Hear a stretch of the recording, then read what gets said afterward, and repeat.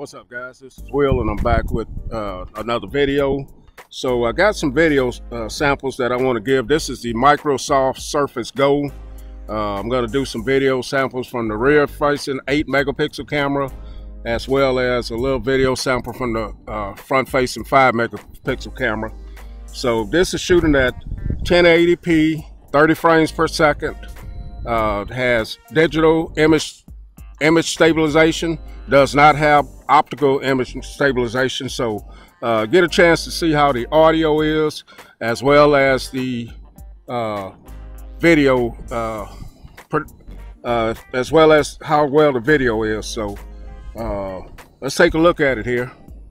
So you may be wondering why I am recording with this device well, a lot of times I'm at events. take a look at this grass here. Zoom in on it.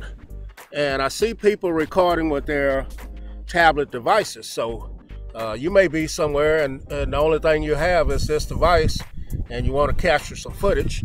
So just to give you an idea how it looks uh, recording, uh, that's why I'm doing this uh, review. So, all right, so I'm doing a little walking here you can see how stable it is.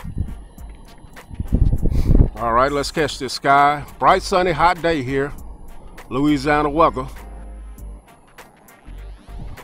Doesn't look too bad in the viewfinder. Let's zoom in on this water here.